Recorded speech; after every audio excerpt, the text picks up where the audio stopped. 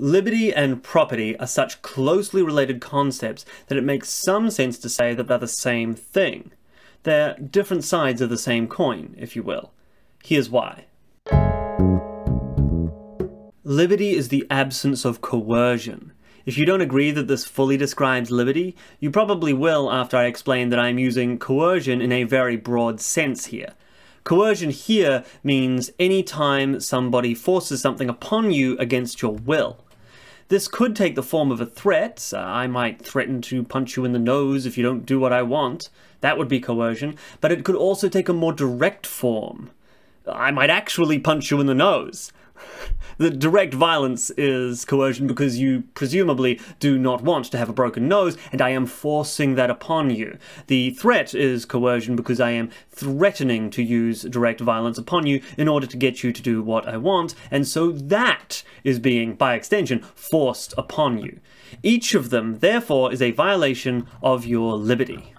Perhaps you would prefer to define liberty as freedom from any physical impediment, not just coercion.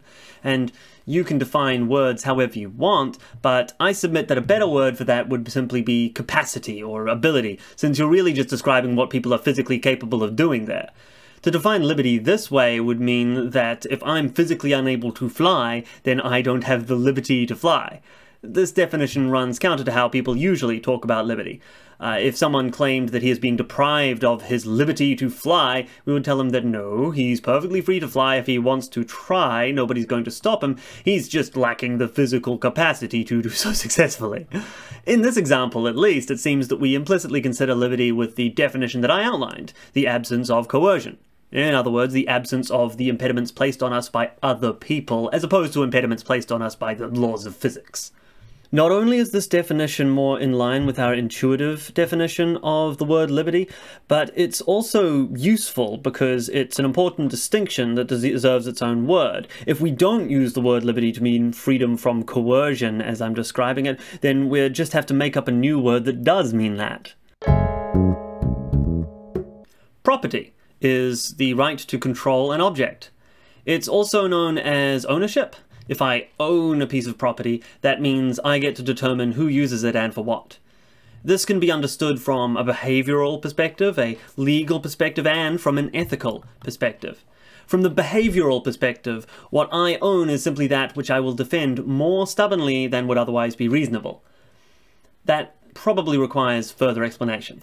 In normal circumstances, in order to claim possession of a dollar bill, someone would usually be willing to give up some amount less than a dollar.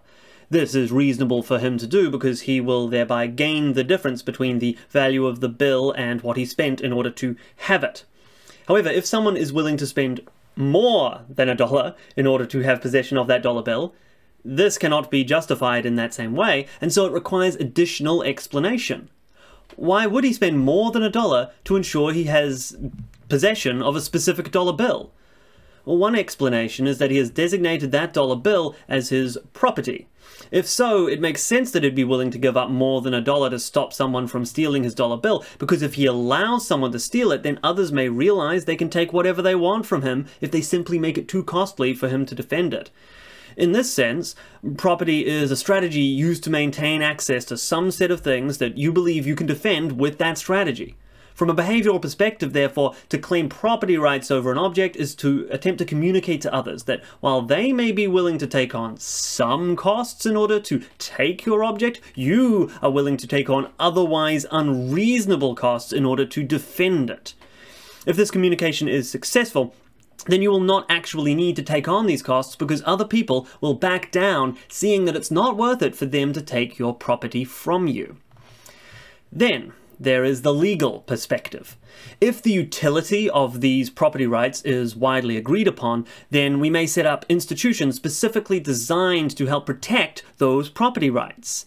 In order to do so, these institutions will need to have definitions of who owns what. That set of definitions is called the law, and property, from the legal perspective, is simply what you own according to it. Finally, there is the ethical perspective. From this perspective, that which you own is simply that which it is wrong to take from you. This one probably doesn't require any further explanation. You can probably see how these three perspectives of property rights come together. Property rights are a behavioral strategy which we then codify into systems of law and into systems of ethics. What might not be so clear is how this all comes back to liberty. Let's return to our simple definition of liberty absence of coercion. Remember that one example of coercion was me punching you in the nose. Now forget that one again because it was too easy.